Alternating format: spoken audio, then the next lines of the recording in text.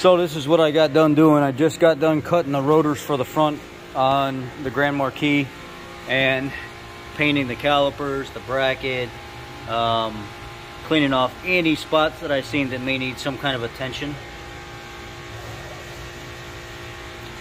And I went with the CVPI severe duty brake pads. Tomorrow I am gonna do the rears just go ahead and knock them out while I'm here as well. But that's the update for right now on the Cherry, Cherry, Cherry, Cherry 2007 Mercury Grand Marquis garage find. It's been sitting for years with only 26,000 miles. So, um, the rim guy did come today. He just got done back there in that corner out those doors over yonder, way yonder by the trees. I seen him out there just a little bit ago. He just got done powder coating a set of F-150 rims and I asked him what I need to do to get my factory Grand Marquis rims redone by them. And he said that uh, I would need to contact his boss. His boss will send him back out here and he will pick them up and it will be a couple weeks turnaround, but it's about 125 to 150 dollars a rim to refinish to factory condition. So I'm just gonna have him go ahead and do it. Got both sides done. Still had the factory Motorcraft brakes and rotors on it.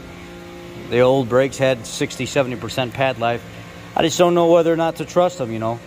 Uh, just the fact that they've been on here for so long and I'm with my family in this thing. So I'm like, you know what? I'm just gonna, I'm just gonna do what I think is right and I'm gonna go through it and, and change everything kind of like while I'm there. So I figured I would uh, try the severe duty CVPI front pads. We had those in stock. The rears, they said they discontinued. So they gave me um, not the economy Motorcraft brand for the rear. They gave me the better ones, the, the regular like factory style semi-metallic. I'm just going to go with those for now. But they said they uh, had the rear CVPI severe duty is obsolete. We cannot get them. So they gave me the next best thing, which is you have the economy line and then the OEM line. I said I want the OEM line. If that's the case, then I'll just put the OEM ones back on the rear. So that's where we're at with this right now. Is uh, just slowly picking away at it. You know, a lot of people coming by today looking at it. They haven't seen it because I just came back from vacation and stuff, and a lot of people are like, "Wow, man."